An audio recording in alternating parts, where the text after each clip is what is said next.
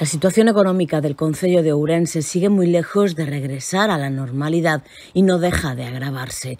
Las deudas ocultas con las concesionarias rondan los 25 millones. La morosidad vuelve a escalar a máximos históricos, 138 días, y el Ministerio de Hacienda ha iniciado la intervención del sistema de pago de facturas del Concello, al que obligará a presentar antes del 25 de octubre un plan de ajuste y viabilidad para garantizar que se vuelven a pagar facturas en plazo.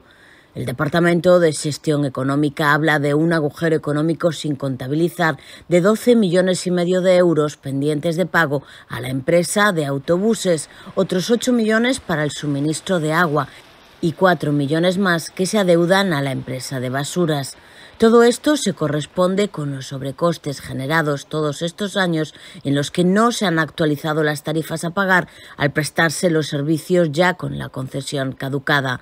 A esto había que sumar otros 6 millones de euros que el Concello debe reservar para la hipotética demolición de tres edificios de Marcelo Macías. Una sentencia obliga al Concello a reservar crédito para la posible demolición futura.